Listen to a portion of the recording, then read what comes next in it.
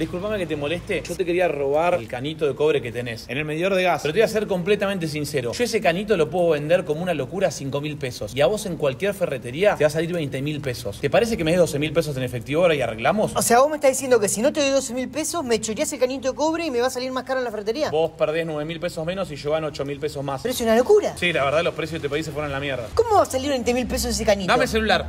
No, no, dame el celular así te muestro. ¿Qué te pensás? ¿Que soy punga, Jorge? ¿Cómo sea mi nombre? Lo vi en tu DNI. Este chanta lo vende 37 mil pesos usado en Marketplace. Pero el de la foto del vendedor, ¿no sos vos? Y encima puso una foto mía. No, mirá esas zapatillas. 60 mil pesos es un regalo, ¿eh? ¿Y si las compramos juntos? Y entre los dos serían 40 mil pesos vos y 20 mil yo. Pero ¿cómo las compartiríamos? Y si son dos, nos queda una zapatilla cada uno. Yo soy más chico, no me va a quedar tu talla. Pero con más razón te quedas con una sola, ponés los dos pies en la misma. Bueno, ¿arreglamos sí o no? Así no te robo más tiempo. Ah, ahora no te importa robar. Bueno, a mí trataba bien porque yo a vos te traté bien. Perdón, tuve un día de mierda. Estoy cansado de esta vida agobiante. A veces siento que somos instantes.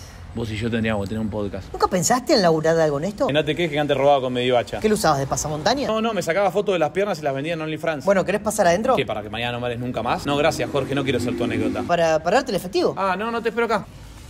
Contalo. Vine buscando cobre y me terminé llevando plata. Hasta la próxima, ¿eh? Un gusto. ¿Qué próxima? ¿No vuelva más? ¿Qué estás haciendo? Tenemos un arreglo. Sí, pero el timbre no arreglamos nada. ¿Te parecen 10 mil pesos?